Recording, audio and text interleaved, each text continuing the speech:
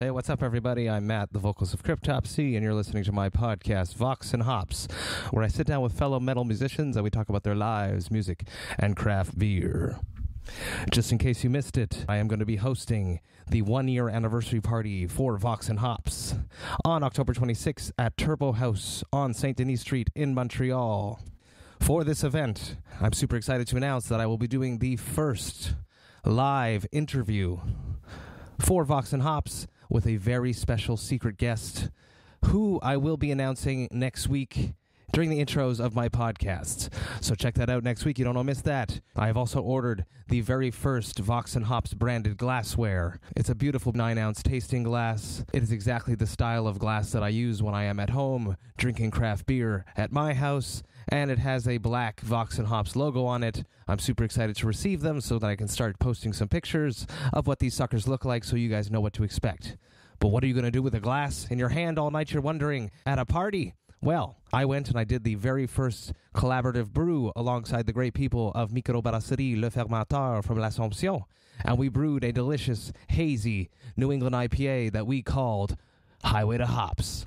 I'm super excited for the party October 26th at Turbo Haüs in Montreal. You can get your tickets right now, and with your purchase of the ticket, you receive entrance to the party, the 9 ounce Vox and Hops branded tasting glass, and one free serving of Highway to Hops. All of that, the ticket links, all of the information is available on the Vox and Hops Facebook page, and everything is available in the description of this podcast. I hope that you guys had a great week. I had a great week. I was extremely busy. Sunday, I was at Bloodletting North America at Foufounes Electric, and I did a bunch of interviews there. Super excited to get those out to you guys. And on Monday, I was invited out to the Warbringer Enforcer Show, also at Foufounes Electric. And I was invited out there by a Vox and Hops alumni, the great Chris Soutsos of Jhoff Films YouTube channel. He's an awesome dude. I had a great time hanging out with him. He invited me out, so I went and I hung out and I conducted an interview that night as well. I'm super excited to get that out so that you guys can see what that's all about. Today on the podcast, I am with Andy Thomas, the guitarist of Black Crown Initiate. This is Vox and Hops, episode number 73. I warn you, what you are about to hear is very disturbing indeed. What's up, everybody? Today I am at St. Bock and I'm with Andy Thomas from Black Crown Initiate. Yes, you are. Finally, Yes. this is like, I don't know, 10 longer months in the making. It's been a while. Yeah. How are you, brother? It's been a long time. I'm really good. I'm uh, on tour here uh, in Montreal. We play at the Electric Booty tonight. Yes. Yeah. That's what that means, right? Uh, that is that is exactly what that means. Uh, Foufounes Electric, the classic CBGBs of Montreal. Yeah. It's been around forever, and so is the sound system. Nirvana system. played there, right? Uh, yes, Nirvana has played there. Yes, yes. It's cool. How has the tour been? How's it been going? How long you been out? I, We've been out for five days. It's been going good. Um, we did, what did we do? New Hampshire.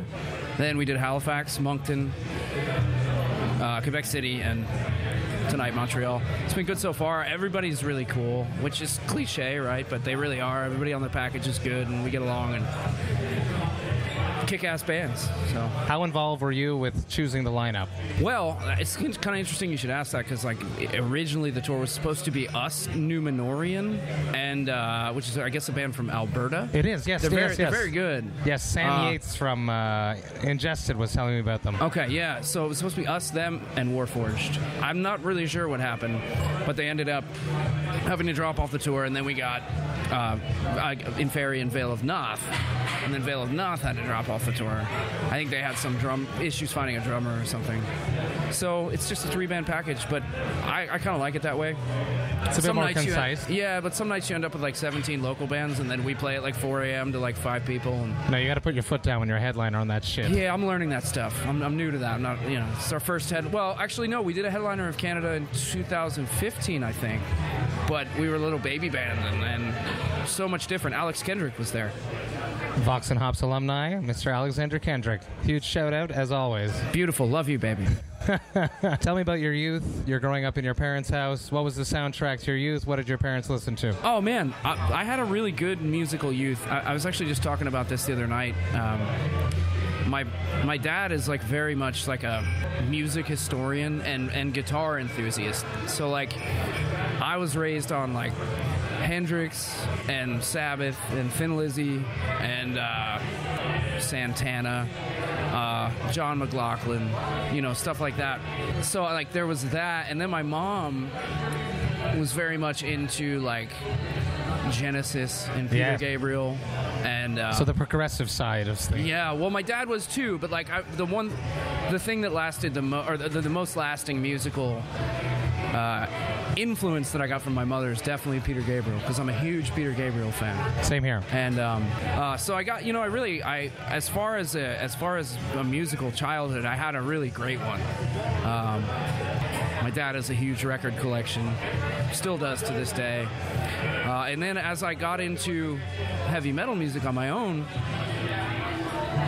because my dad's a guitar freak, it was like he he he really got into it as well. Because you know, metal is very guitar-driven music. Was he playing? My dad knew like six chords. Okay. He showed me my first chords, uh, and then I wanted to. I wanted to learn. I wanted to take guitar lessons, and he refused to get them for me, which I remember being really pissed. I was like, "Man, this is bullshit." I wish he had still, but I ended up being a little twelve-year-old. Well, I guess I was, er, I was. I was about ten. I had a little blonde kid with a bowl cut, and I had these neighbors because I lived in the ghetto in Reading, Pennsylvania, and um, I walked past this house when I was like 10 years old, and I heard these dudes inside playing.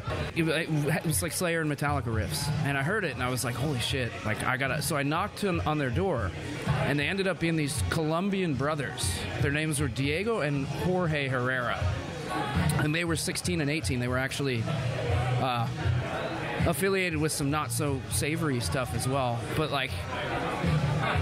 I just knocked on their door and said, "Hey, will you guys teach me how to play guitar?" And they were like, "Sure."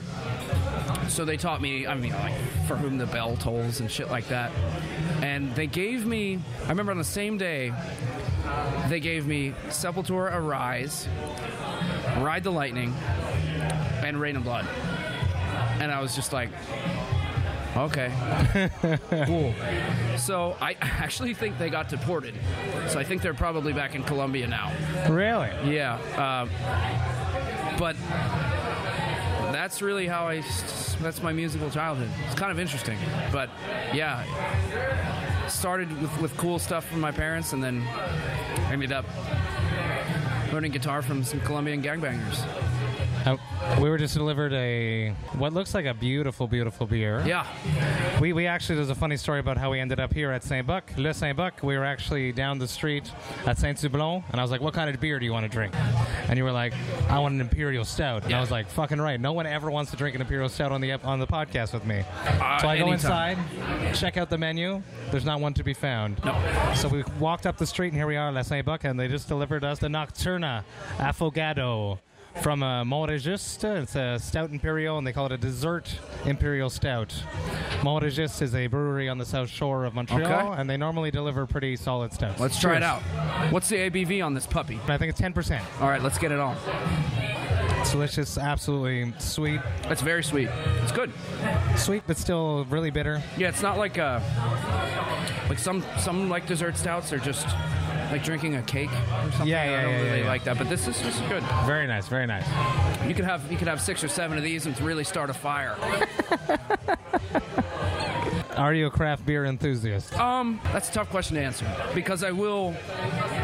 I'll sit around. My, you know, my girlfriend and I we sit around a lot of times and just drink Miller Lite. But um, she very much is. She works at a brewery in outside of the, the Phoenix metro area in a place called Gilbert. It's called 12 West Brewery, and they make very very good craft beers. Um, all kinds of stuff. They actually make uh, pilsner called Arizona Arizona Pils that like wins competitions out Oh, there. cool. I'm going to have to So this. if you go out there, let me know, and I'll you know tell you where it is and shit. But so m- my point with that is my girlfriend is a craft beer enthusiast, so she's very much into the whole thing. Uh, so I get exposed to a lot of stuff. I just kind of know what I like, and I know that I love imperial stouts. Like that, just sort of, I don't know. It's it's what appeals to me. I mean, I, I the fir- the first one I think I ever had was like Old Rasputin. Yes, of course. Yes. And I was just like, shit, man. This like, there's beers that taste like this. This is what I like. Uh, and it was weird because like my tastes have changed. Like I said earlier, I before the interview, I, was, I used to love IPAs and sours, and then I just didn't. And the taste of them, I don't know what happened. I, I guess my, you know, my just my preferences or my palate changed or whatever. And I did. I didn't like. Uh, I didn't like them anymore. And and recently, actually, because I've again because of my girlfriend being such a craft beer drinker and an IPA lover, I kind of just started drinking more and more IPAs again to the point that I do like them. Uh, but sours I still can't get into. But yeah, I mean, I love imperial stouts. It's really d- very delicious. This Yeah, one. this is great. Yeah, dude. yeah. This is yeah. Do you remember your first beer? Well, I mean, when I was younger, I you know my dad would probably give me beer at Thanksgiving or something, but like not not anything of note. I think the first I can answer it this way: the first craft beer that I remember having ever, and really. Because you know when you're when you're 14, you drink Old Milwaukee because that's all you can get from somebody who's willing to buy you beer. And you're really excited about Yeah, it. uh, yeah. It, it- so I remember the first one being uh, Sierra Nevada Torpedo, which I still love. Um, and I remember being like, "Oh, this isn't Old Milwaukee," you know. What is this flavor? Yeah, exactly. Yeah. And it, you know, it tastes it tastes like a pine tree or something, and Yes. Uh, yes. and that sort of got me into it. I mean, the first alcohol I ever drank was Jägermeister, and that's kind of a funny story because I was, I was, I think I was like 13, which is not great to admit. Uh, but everyone who knows me knows I'm a, I'm a troublemaker. Uh, I, my friends and I would buy a bottle, or, or we would get his older brother to buy us a bottle of Jaeger, and we were doing, we figured out that we could each do seven shots out of the bottle and we were taking seven shots each, and then the bottle was gone, and we'd be fucking hammered, right? Young kid, and then we figured out later on that the shot glass we were doing shots out of was a double shot glass. Oh shit! So you're doing so 14 I started shots. drinking, doing 14 shots of Jaeger.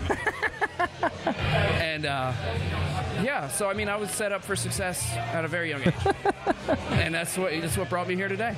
My propensity for alcohol drinking.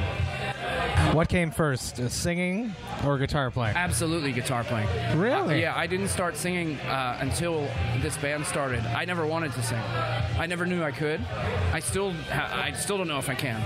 But, but like, I, sta- I started for this band. You have the voice of an angel. Thank you. I you know I'm, I'm definitely not the only one that has said it on the podcast as well. I, I heard you and Alex say it. I got all, I got all, oh man, these fucking guys. But no, I literally, I started singing for the band, and um, because the type of vocalist I like, um, or I prefer, as far as like melodic vocals, isn't a particularly. I'm picky about it. Like I, I love Devin Townsend, right? But I don't really like operatic vocals that much. Um, so I've always been sort of a fan of like Maynard from Tool or just but also like I, I think vocally like my favorite stuff is maybe like folk music. I love crosby stills and nash and young. Uh, i love iron and wine which is more Yeah, I modern li- I stuff. like that too, that yeah. guy's a beautiful voice. But like I sort of enjoy a, a more personal voice, I guess, than like you know like power metal singers. Not that I don't like power metal, I do some of it, but I just it's, so you know James, our singer, he's he's actually a very good. I mean, you know, he's a great vocalist. He's good at everything. Yeah, But yeah. he can he has very good pitch and, and stuff like that. But just the character of his voice was not necessarily what I was going for at the beginning. Although we've discussed now maybe implementing more of that because I think our new guitarist Ethan is a very good singer as well. So I think we may try on the next Some album. three-part harmonies. Yeah, we stuff like that. Oh, I, I that'd be think, sick. I think it would be good. I mean, it's, it's it depends on what we can do in the live situation because I think at that point you want in ears and stuff like that. But I started singing just out of necessity, and then I realized very quickly, on tour with Behemoth, I might add, that singing live is very difficult, especially when you're playing guitar. So I basically was like, fuck, I'm terrible at this. And I have to go back to the drawing board. So I ended up taking vocal lessons for a little while with like a Juilliard trained guy. He was like a Broadway singer and stuff in my hometown. And um, that helped quite a bit. And I think like what I got mostly from that was like just uh, with a guitar, for example, you have reference points, right? You have like, well, you play you play it on this fret. If you don't do it, it's wrong. But with with vocals, it's your body. Mm-hmm. So you have to identify how things are supposed to feel, sort of by comparing them to other feelings that you get with your body. Maybe if you're taking a shit or whatever. That's a good example. It is. It is for your for your Uh, bass for your bass. Yeah. But so I, I, I started not knowing anything, and I guess I maybe know a little bit now, but it's still very difficult. And I, you know, I don't admittedly live the healthiest lifestyle. I smoke cigarettes, stuff like that, and I, a lot of singers do. So I, I don't see that really being. I think cigarettes, what they really do is in the long run, in the long term, I think they take a lot of the top end off of your voice, probably, a lot of that higher ra- mm-hmm, range mm-hmm. of your register, but breathing properly is like not something I excel at. I'm saying, uh, but you can do that if you smoke cigarettes. Really. But you're also playing guitar and thinking it's not easy. It's almost like a ballsy choice that you guys chose to include. I'm just stupid, man. I'm not ball. You know, it's like I, I, if I had to go back and do it again, I mean, I probably would have done the same thing. But I, I did do. I, I bit off way more than I could chew at first, and honestly, five years in now, I'm just starting, starting to feel somewhat confident in what I'm doing. And It's almost as if you guys were ahead of the scene because I feel like the whole tech death scene has really blossomed now with bands like Obscura, sure, Beyond Creation, Yeah. uh, the New Rivers of Nihil, which you are a guest on. yeah. And you guys were doing all that shit way before, like with much more melody. I don't know where where did that all come from. That comes from, I think, to tie it back. I mean, that comes from my my musical background as a kid because I I was always a metalhead. I'm still a metalhead, you know, but I I always loved everything, and I never really differentiated between. Like, I was never. I don't know how to describe it. When I started the band, I really wanted to have a band that just could do whatever I wanted. And I remember with you, for example, when you did uh, Unspoken King, That's right. Yeah. right? I remember the backlash you got, and I and, and, I'm, and I'm not kissing your ass. This is the honest truth. I remember thinking, this is good. Like, what? What's the fucking problem? Because I never had that. That's the point I'm making. I never had that mentality of like, this has to be this way. I'm not that way in any thing in my life, let alone music. Like this, there's one way to do it. So, okay, a band used a different type of vocals. Matter of fact, a more like if we're talking about technical music and the like people judging your music on the technicality of it, well, melodic vocals are way more difficult at doing them well. That's way more difficult than than Just screaming. so you actually did something more difficult and got judged by a technical community based on you know it's like Oh, yeah, it, doesn't, it doesn't fucking make sense and it didn't make sense to me as a kid so i think that's probably where it came from That's super interesting. How hard was it back in the day to find tour packages because you were so different? Were you guys like thrown because you had screaming technical music? You guys get thrown onto Yeah, brutal that- packages, and then here you are up there singing like an angel. yeah How did that work? you know You mentioned being on tour with Behemoth. You know, I, Yeah. I see it Well, being th- very those different. guys- now they have clean vocals. yeah those guys were really really cool to us man and they didn't have to be because we were i remember like when we went on tour with them my first show with behemoth was i want to say my eighth live show ever Holy shit! Right. So I show up in Arizona, where I now live, a sold out show at a venue that I now go to all the time. But like, and Behemoth sound. And I'm this idiot who somehow ended up there. And I'm like, what the fuck is this, right? But they were really cool with us. Um, to answer your question, though, yeah, it's difficult. I remember reading a, an article years ago about System of a Down and how when they first came out, nobody knew how to market them That's right. because they were they weren't white, they weren't black, you know, they weren't they were playing all different kinds of music. They weren't doing, you know. And I think maybe we encounter not to put ourselves on that level at all, but I think it's the same concept really. And you know, when you when you end up on tour with Deicide, Yeah, exactly. and you're singing exactly. like people like I'm surprised I didn't get like beaten up or anything. But I mean, actually, a funny story about Glenn Benton. Glenn Benton's a traditionally terrifying guy, right? so like, I don't know what to think. Um, but for whatever reason, he liked me.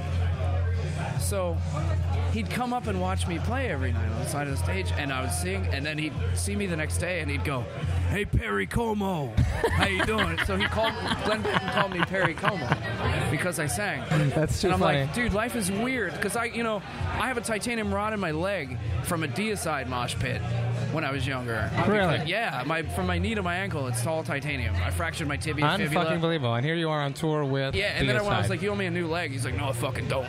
You know, I'm like, "All right, cool, whatever." But he called me Perry Como, and I'm just like, "Man, I'm on tour with my heroes, and they, you know, I don't, it's very surreal. I've had a weird life." There are some congratulations in order. Hmm. You guys just announced that you were signed to Century Media Records. yeah, man. Cheers to that. Thank you very much. This beer's really good, by the way. I really, really like it, yeah. yeah, we did. You guys sort of had like a, a quiet moment. Yeah, You could call it a hiatus. You could call it a in between. Was it an in between? it was a period of complete uncertainty.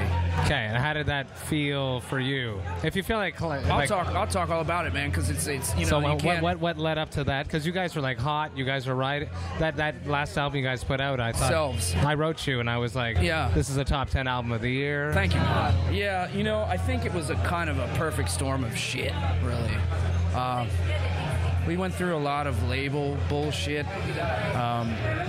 Who were you with before? We I were with E1, E1. and um, we entered into a management situation that we knew was less than savory. But at the time, that early in our career, it was sort of the only option that we had. To it was like, you want to go on tour with Behemoth or not? Okay, what do we have to do?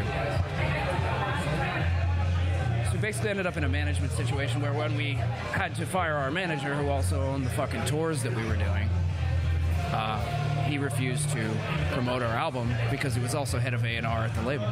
Got it. Got it. So we fired a manager for not paying us for an entire tour, and then because he also had was head of A&R at the label or whatever, he basically buried Selves.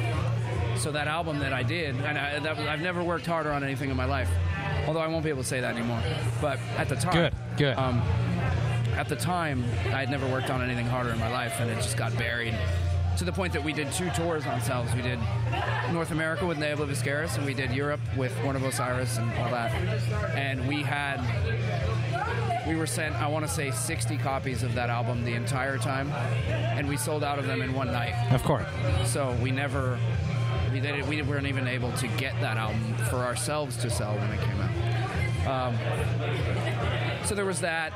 I think we maybe spread ourselves too thin with the touring at first because we were taking like every tour. were with everyone, yeah. Yeah, and um, you know, so you had all the personal bullshit, people getting tired of each other, coupled with the fact that we're not able to do our jobs properly because the label's trying to bury us. And it just, you know, there was a lot of personal stuff going on in our lives, mine especially, and um, it, just, it just fell apart. And I think when things fall apart to that degree, some people have that extra gear where they can just say, all right, everything's real, real, real, real, real bad, and I'm going to do something about it. But the way I kind of just fell into a pit of despair. And, uh, I, yeah, I, I'm just glad I survived. But I mean, I realized after about a year and a half, like, nothing's happening because you're not doing anything. So it's like, okay, boo hoo, boo hoo for a little while. And then it's like, well, you can do this forever and probably just die. or, you know, try to get something together. So I actually, Nick and I, our bass player, Is he here tonight? no, Ah. his job couldn't didn't let him tour. I love him. He's a beer maniac he loves too. beer too. Yeah, Uh, he- he's he's still in the band. It's just we got to figure out the touring. Okay. Um, but he and I just started writing music, and we didn't even really know what for. And James was always a part of it, Ja- I mean, James has never been a part of writing. but but he was always like, when you oh, guys Oh, yeah, are ready, I'll be there. James has been so faithful to this band, so loyal, I should say. Um, James is one of the reasons I'm still here. Just having him going like, you know how he talks like, well, I just think you should just keep trying. You know, and I'm like, all right, I, all right, I will, because you think I should, even if I don't think I should right now. And um, so yeah, James is, yeah, he's. There were a couple times where he just came up to Reading to hang out with me, and you know, To, to keep to keep you going. yeah. Yeah. So we ended up just writing like an album's worth of music. More now because Ethan is writing as well, because he's an old guitar student of mine who got drastically better than me very quickly.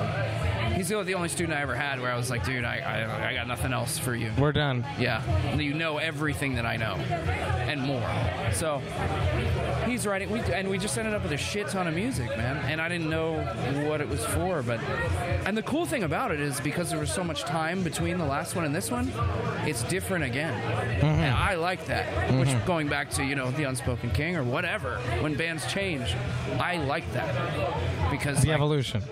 you're growing as a person, or you should be. You should be trying to. So why wouldn't your music do the same thing? But w- were you always writing it for Black Crown Initiate, or it could have been a new project? We had no label, we had no management, we had no booking agent, we had nothing. I didn't know anybody cared. At least the label you weren't like shelved and you could didn't have to change the name. You know what I mean? Thankfully. Well, Yeah. they, they, in the end, we ended up saying, hey, are you going to keep working with us or what? And they said, no, not at all. No way. So, okay, good. Thank you.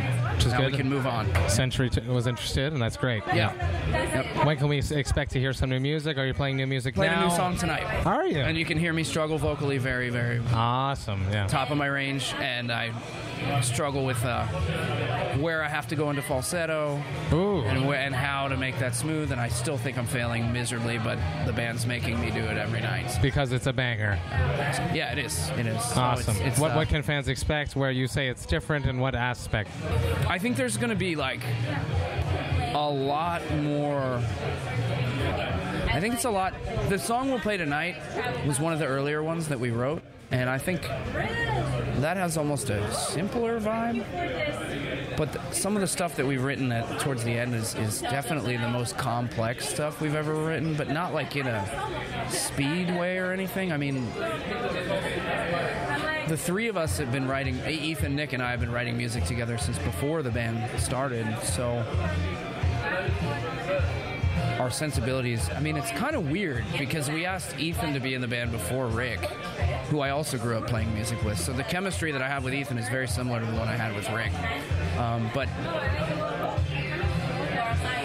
i think I guess a lot of the death metal influence is go- kind of gone. I Okay. just, I you just just whittle, you whittled it away. yeah, because I just, I mean, I, I mean, it's still there a little, but I, vocally, it will always be there because I enjoy that type of vocal as a dynamic tool. Ba- uh, the, Yeah. the brutalness Yeah. balanced with your Yeah, and, and and when you can make things really huge with that type of vocal, even though the music's breathing. right? Yeah.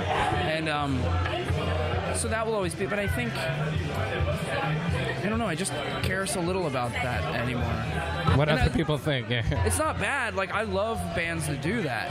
You know what I mean? So I'm not like I don't mean that to be a prick where I'm like, oh, you, I don't care. You know, I, I just for me, I, I don't care. You know, so I think. Yeah, it's tough for me to say. There's a lot of music too, though. So that's the thing. There's a lot Do you of know? music. Do you know where that you have so much music that it's going to be more than an album? we have more than an album's worth of music written. Okay, so now you're in that picking Yeah. what's going to fit on this album. Yeah, for sure. Yeah. And I mean, we've there's all kinds of stuff. Like we have our first song that we've written ever on six-string guitars, shit like that.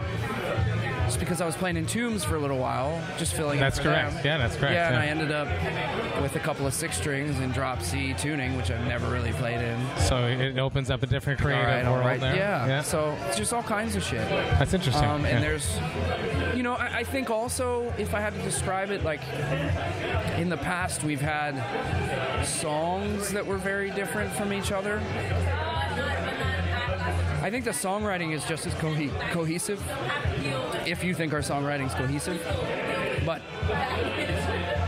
I think the new songs contain more elements within one song. awesome. Awesome. before, you know. So I, I, tough to say though. Closer to that Peter Gabriel. I love Peter Gabriel, man. I could talk about Peter Gabriel forever, man. It's more progressive almost. oh, dude. Yeah. Yeah, yeah, it is. It is. Yeah. It is. I mean, and uh, E- Ethan, you'll hear Ethan play tonight. That kid's a virtuoso. Awesome. So I mean, he's he. I- He's an incredible musician. I mean, you give you give the kid a, a shoelace and he'll make. You, you tend to gather incredible musicians. I do. I'm not Yeah. sure why. You know, Wes Hauch was in your band, Mm-hmm. which is you know, one of he's one of the best guitar players out there. Yeah, yeah, So- absolutely. solid, solid absolutely. guitar player. Incredible guitar Yeah. player. Yeah, I don't know. Uh, and that's another thing. As you grow older, I, I tend to be a very self-deprecating individual. Um, but you have to kind of, if you, and I'm, I, I'm, this is something. Uh, it's sort of a personal venture in my life, in general. Lately, it's like, well, maybe you don't believe in yourself all the time, but if you step outside of all that and look at the people who do believe in you, you're still accountable, even when you don't want to be. So that's a that's a definite switch, and I, and that like that goes from bands to relationships, mm-hmm. all mm-hmm. kinds of shit. Like there will be times where you don't believe in yourself, but back to the hiatus or whatever it was. I'll never let myself go to that. That dark, that dark corner again. I- yeah. It's not necessary. It was necessary then. Look but- how much you've grown because of it. Exactly. And I look where I am in my life now, and it's it's exactly where I want to be. It's beautiful. It's beautiful. It really is. Yes, I, I think about it every day, like how lucky I am to be where I am right now, because it could have gone the other way. I'm glad it didn't. Me too. Andy, thank you for being here, Fuck yeah. hanging out with me, drinking a good beer. Fuck yeah. Cheers to Black Crown Initiate. And you, Cryptopsy. thank you, and you being on back on track. Cheers, Fuck brother. yeah. Here's to you. Hey, thank you all so much for listening right to the end. You know that I love and appreciate that. Andy, such such a cool dude. I, I seriously really really really like this dude and I finished my night. I went back to the show. I watched him play and by the end of the night I was like, I'm going to do a side project with Andy Thomas. So uh, Andy, uh, I really want to do that. Uh, let's make it happen. I love you, dude. You're a sick guitar player and you have that beautiful angelic voice. I'm super excited uh, to see what the new Black Crown Initiate's going to put out. I've included in the description of this podcast the new single which they just dropped, which will be coming out on their release that is coming out on Century Media Records, as we spoke about during this interview. Cheers to uh, Black Crown Initiate and to Andy Thomas. As I mentioned last week, in case you missed it, I have added a donate button to the voxandhops.com. That's www.voxandhops.com. There is a little tab at the top where you can click donate, and if you feel like you would like to contribute something to the podcast financially, it doesn't have to be big. Anything is appreciated. I don't do this podcast to make any money. That is not why I do it. I do it to uh, connect with metal musicians and to share delicious craft beers with them, and then sharing all those conversations and little tidbits with all of you. That is the main reason I do the podcast. But anything financial always helps me cover my back end and uh, helps me purchase the beers that I'm sharing with my guests. So anything is appreciated. I hope you have a great weekend. Remember to enjoy life, metal, and craft beer. Cheers, Vox and Hopsets.